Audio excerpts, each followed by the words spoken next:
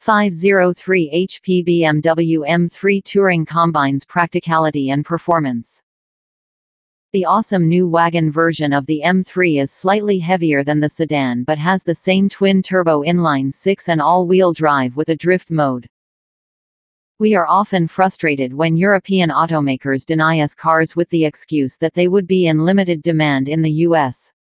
This, sadly, is one of those occasions, with BMW's official confirmation of a car that rational market forces are set to deny us. Meet the new BMW M3 Touring. That's right, it's an M3 wagon, the first that BMW has ever built through six generations of the nameplate.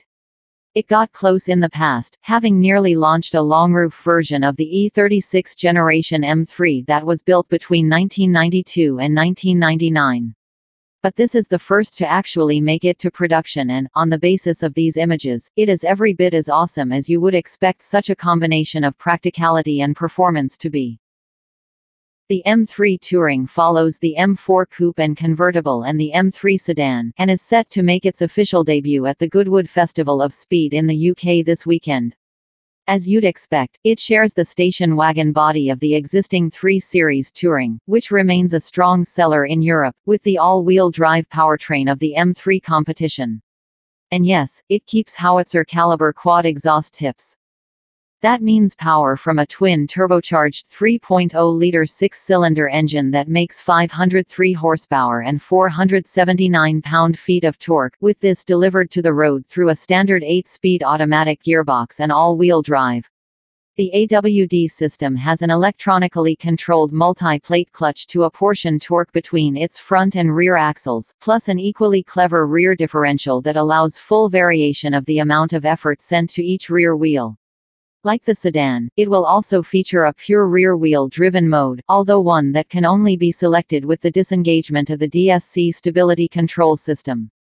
Doing this will bring the additional dynamic option of the variable M traction control feature which will, according to BMW, allow the skilled driver to enjoy a driving experience of remarkable purity.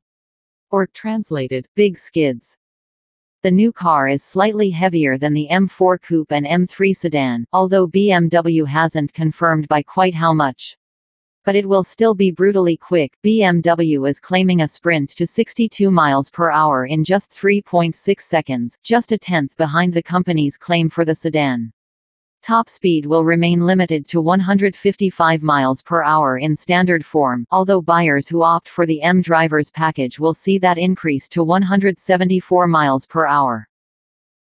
But it is also a wagon, one that will offer a claimed 18 cubic feet of cargo capacity with the rear seats in place, and with this figure increasing to 53 cubic feet with the seats folded.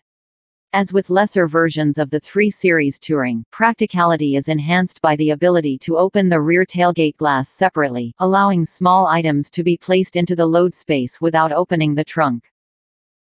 Beyond the obvious bodywork changes, the M3 Touring sticks closely to the look of the sedan, but it also marks the debut in an M car of BMW's new operating system 8 system, and also a new 14.9-inch curved touchscreen display.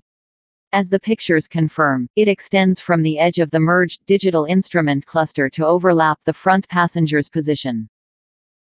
There has been an M-branded touring model before this one, with the E60 generation M5 combining wagon bodywork with the sonorous performance of that car's naturally aspirated 5.0-liter V10 engine. This one is slightly less practical, but also quicker. It will be going on sale in markets including the UK, Europe, South Korea, Japan, New Zealand and Australia later this year. Sadly it seems there are no plans to bring it here.